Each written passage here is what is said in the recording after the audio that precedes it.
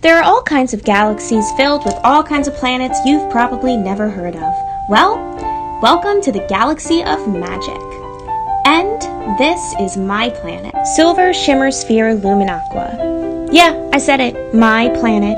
I have my own planet. Pretty cool, right? And this happens to be Sand Dollar Palace. My castle. Yeah, I have a castle too. No big deal.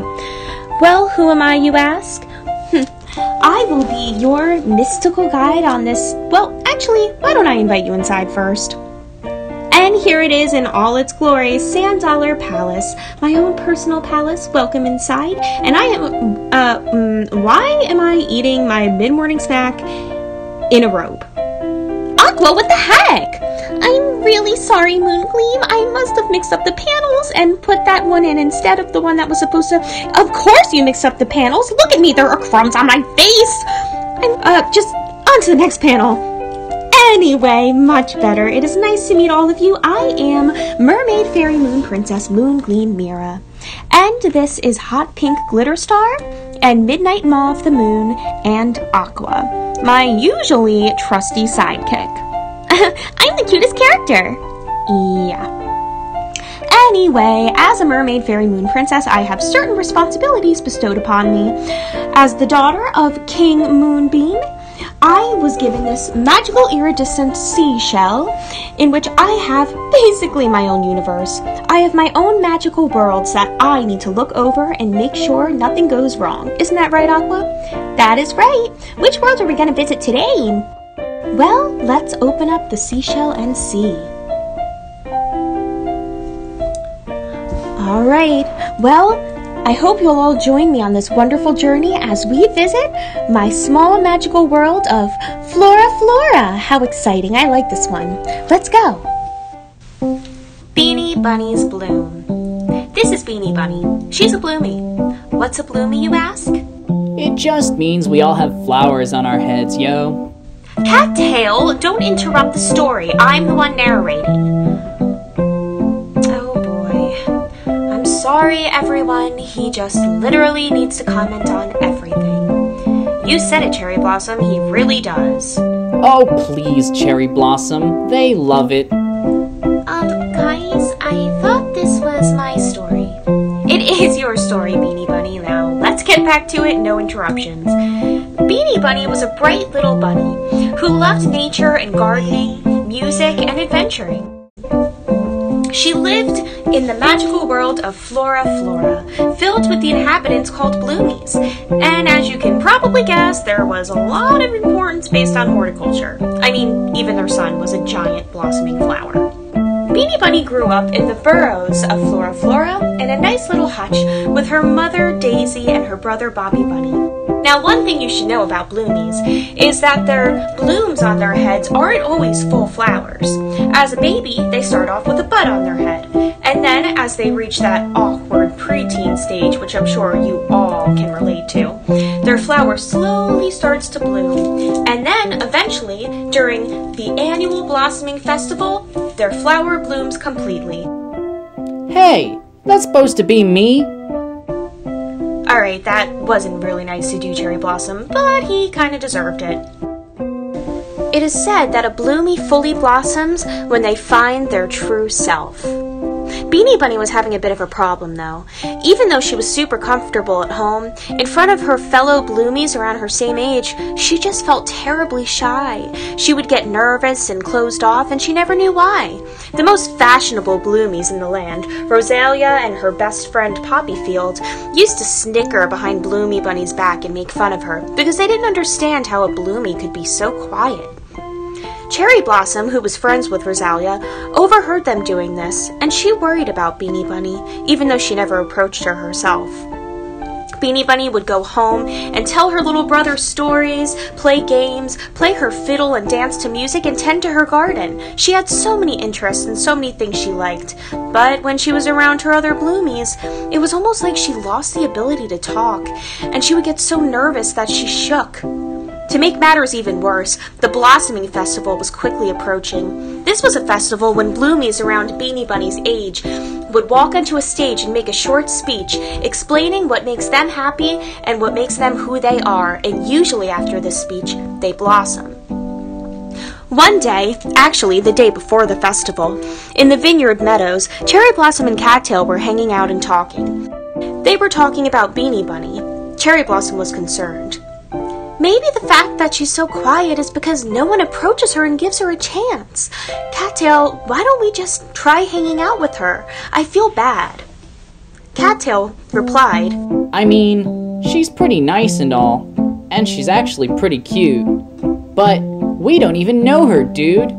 She could be super weird. But yeah, we should probably say hi. I agree. So they were in agreement. The Blossoming Festival was in one day, and they wanted to go see what Beanie Bunny was about. Why was she always so sad? Why was she always so quiet? So Cherry Blossom shouted out, Hey, Beanie! Beanie Bunny's ears perked up. She was really surprised. But then, when she noticed that Cherry Blossom was calling her, it was almost like her mouth zipped shut. Why would Cherry Blossom want to talk to her? Didn't make sense. Beanie Bunny got really nervous. Cherry Blossom and Cattail approached her with the best intentions. Cherry Blossom knew exactly what to do. Beanie Bunny, she said, the Blossoming Festival's tomorrow, and Cattail and I were wondering if you wanted to get ready with us. Beanie Bunny couldn't believe she was agreeing to this, but she figured why not, and she said, Okay. So off they went to Cherry Blossom's house. Why don't we make the story a little more interesting? I know Cherry Blossom happens to like to sing. Why do you think that they won't hear you? You deserve to be heard. You deserve to be heard. So speak up. You never know if you don't speak up. You'll never bloom. So hang with us. There's always room. Really, you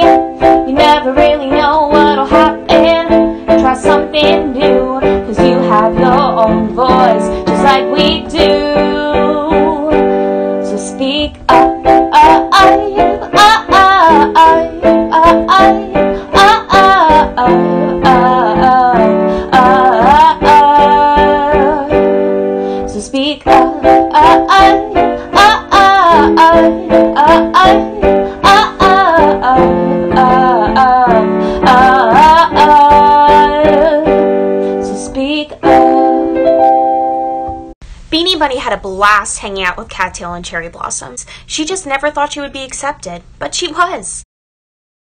Finally, it was the Blossoming Festival, and everything was decorated in the main garden, and all of the bloomies were ready. Rosalia and Poppyfield, of course, were gossiping about which bloomies would blossom and which wouldn't, and of course, they didn't believe in Beanie Bunny. I guarantee when Beanie Bunny gets up there, she probably won't even say a word, laughed Rosalia. Hmm, you're so right, agreed Poppyfield. Cherry Blossom, Beanie Bunny, and Cattail approached the stage. Everything looked beautiful, but slightly intimidating.